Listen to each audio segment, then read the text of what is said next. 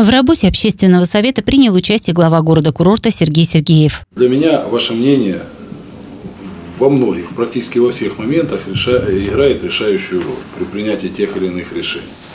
Сегодня руководство страны, вы все об этом знаете, а, призывает граждан к активному участию в местном самоуправлении, то есть а, идет активное развитие гражданского общества. Но это ваше мнение а, по рассматриваемым вопросам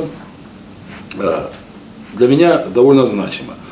Депутат Законодательного собрания края Николай Иванюшкин и он же председатель общественного совета города-курорта ознакомил собравшихся с планом работы на второе полугодие. Дополнение внес председатель Совета ветеранов Анапы Анатолий Максимович Гапонов. В ближайшее время помочь ветеранам и пожилым анапчанам с доставкой им почтовой корреспонденции, пока почтовики не наладят работу. В целом план принят. Второй вопрос о совместных действиях общественности по обеспечению межнациональной стабильности. Мэр Сергей Сергеев рассказал, что сделано, чтобы упорядочить контроль за мигрантами из республик бывшего Союза, прибывающих в Анапу в основном на заработки. Около 50 анапских строительных организаций привлекают рабочую силу из-за рубежа. Мы предполагаемым работодателям, которые привлекают иностранную рабочую силу, раздали э, так называемые заявления которые они должны оформить в наш адрес, где берут добровольно на себя обязательства по круглосуточному, подчеркиваю, круглосуточному контролю за пребыванием этой категории людей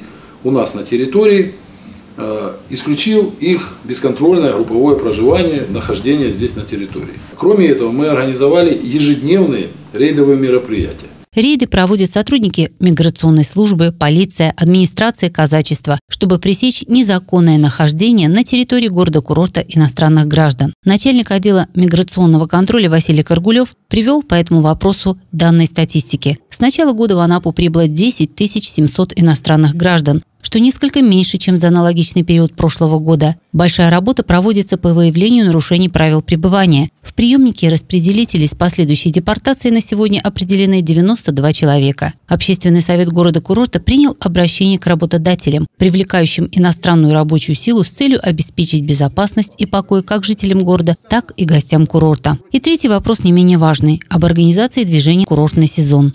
Заседании комиссии по обеспечению безопасности дорожного движения было принято решение о целесообразности организации пешеходных зон в следующих местах. Это улица Набережная, по улице Горького на участке от Театральной площади до улицы Красноармейской. В поселке ДжМТ, это в районе первого проезда, проезда Уральской, улица Морской, Песчаной, Виноградной, Тупику, Юбилейной. Председатель Совета общественности поселка Витязева Сослан Теблоев и заместитель атамана Анапского районного казачьего общества Анатолий Кислицкий попросили на время курортного сезона обеспечить дежурство сотрудниками ДПС центральной улицы Витязева-Черноморской, где нарушаются правила парковки и движения, что называется, на каждом шагу. Несмотря на то, что в пик курортного сезона отдел ГИБДД загружен работой, мэр Сергей Сергеев обещал помочь. Ну, я думаю, найдем на Черноморскую.